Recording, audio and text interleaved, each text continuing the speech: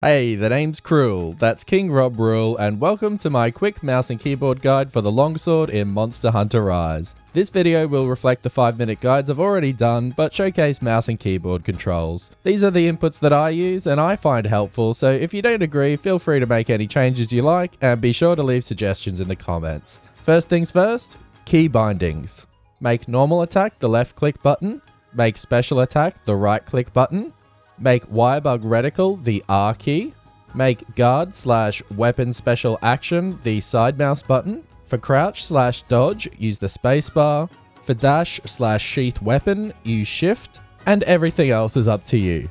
To draw your weapon, press the left mouse button. You can draw into an attack by moving forward while pressing the left mouse button. To put your weapon away again, either dash with the shift key or press E, or whatever you set use item to be. Your basic combo can be strung together infinitely with the left mouse button. The right mouse button combo alternates pokes and upward thrusts, which have less commitment. You can weave together left mouse attacks with right mouse attacks, however you like to suit the situation. If you press the left and right mouse buttons together, you will do a fade slash. You can fade slash backward without a directional input, but you can also fade slash to the left and right with the associated directional input. Keep in mind you must do another attack before another fade slash, you can't do two in a row. Next up is the spirit combo. This is tied to the side mouse button.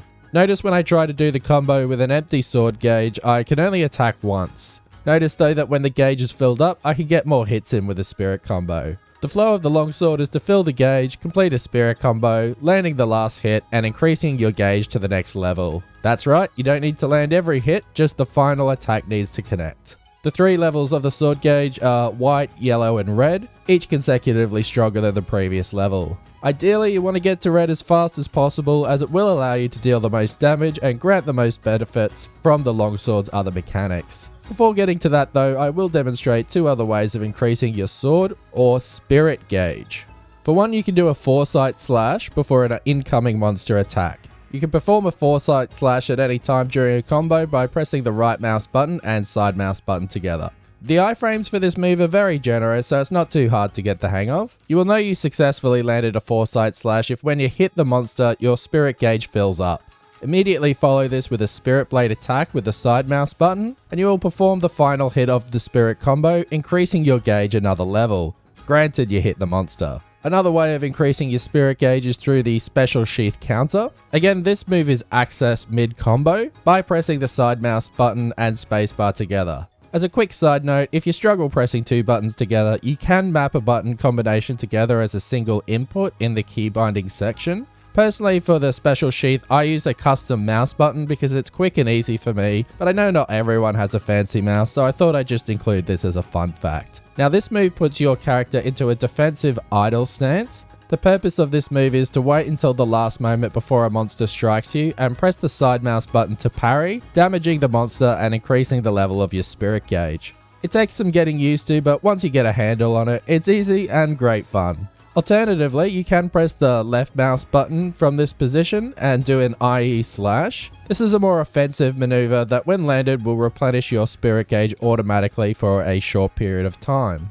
Now once you have your red gauge, you have a few options of how to use it. These are tied to Wirebug moves, so let's get into it. Your primary Wirebug move is Soaring Kick, which is R plus left mouse button. If you don't have any spirit levels or you don't press any follow-up input, you will do a plunging thrust and your spirit gauge will slowly replenish itself. However, what you really want to do is reach red spirit gauge, land the Soaring Kick, and immediately press the side mouse button as you land on the monster. This will result in a jumping slash attack that hits multiple times, dealing devastating damage. It is easily one of the best moves in the Longsword's kit, the bread and butter of many longsword players is to get to red gauge, do this move, get to red gauge again quickly, and repeat over and over. But that's just one option. You can also invest your gauge in a wirebug move tied to R plus right mouse button. This move is Serene Pose and places your hunter in a defensive stance with a cross section of Wirebug Silk in front of you. This move is basically an auto counter and any move that lands in that zone in front of you is parried and deals massive damage to the monster depending on how high your spirit gauge is. It costs 2 Wirebugs though and has a long cooldown so be warned.